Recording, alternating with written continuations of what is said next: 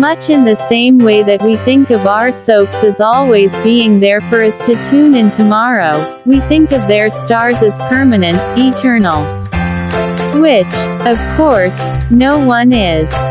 So it came as a terrible blow on June 29, 2021, when we learned that Stuart Damon had died after a long battle with renal for some of us.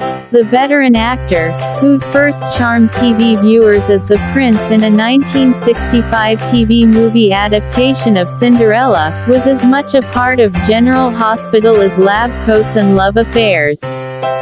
Over the course of his 1977-2013 run on the ABC soap, he'd taken Alan Quartermaine from murderous villain to secret softy, all while keeping us perched on the. That might have been the understatement of the decade.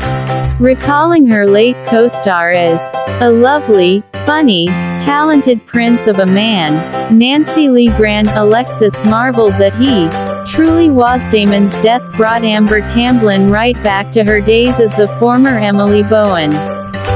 Broken-hearted to hear of the passing of Stuart Damon, she tweeted that, he played my adopted dad on General Hospital for seven years, and he was the most kind, wonderful, loving, supportive person.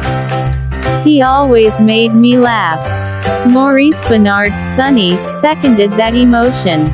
When I heard the news today, it hurt, he said. I always wanted Stuart to be Sonny's long-lost dad. He was so classy, real, he continued, and always made me feel safe. Great man.